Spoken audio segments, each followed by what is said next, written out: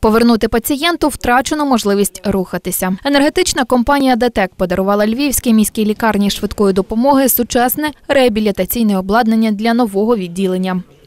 На динамічному тренажері реабілітолог відновлює рівновагу Василю Білецькому після паралічу. У мене є відновлення кожного дня, щось ну, поступово є.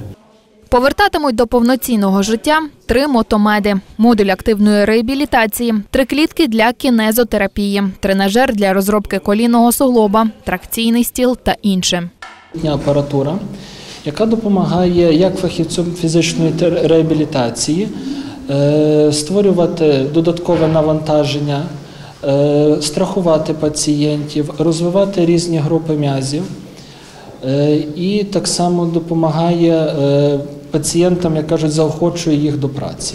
Компанія ДТЕК інвестувала в обладнання 3 мільйони гривень. Не можна говорити, чи а, чи то багато, чи то мало, тому що життя людини воно дійсно безцінне.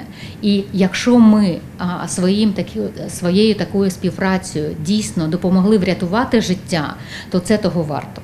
Я хочу подякувати компанії ДТЕК за те, що вона інвестувала кошти в нове надсучасне обладнання.